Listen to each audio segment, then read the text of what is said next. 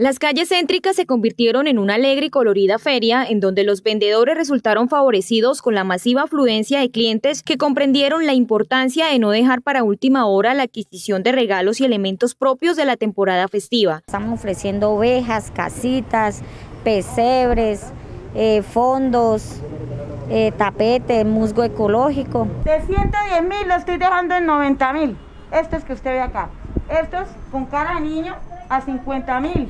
Le dejo 45. Todos tienen descuento, todos tienen su precio. Pura artesanía colombiana, manualidades colombianas. Hecho más en Colombia, ¿no?